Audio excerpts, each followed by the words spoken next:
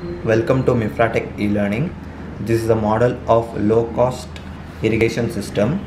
In this we have used Arduino Uno as a microcontroller, DHT11 which measures the temperature and humidity. This is a soil moisture sensor and we have dipped the sensor inside the water. This is two relay model. This is a pump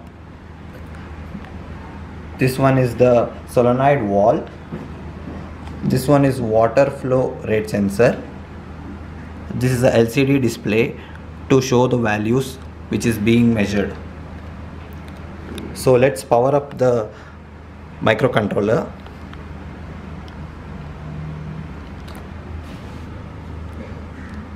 In the beginning the temperature and humidity is being measured and the soil state is also measured which is wet. Let's take out the sensor out of the water.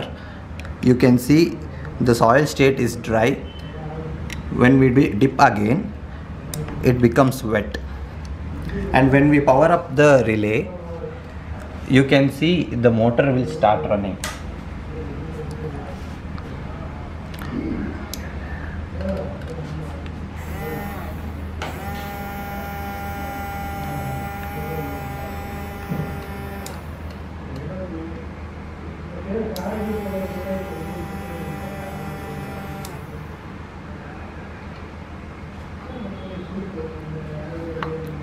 okay coming to the water flow detection.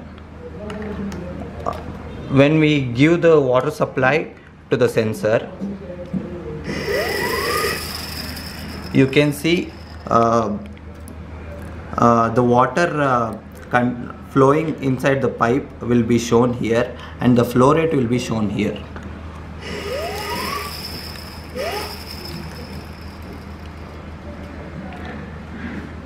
we have set we have set the solenoid valve to get triggered. Whenever the uh, whenever the volume of water flowing is more than 3 liters. Let me show you again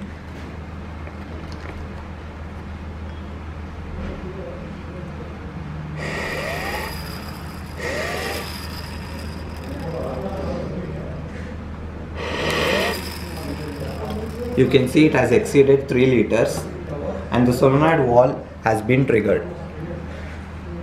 So this was the working of um, the low cost irrigation system model. Let's get to the code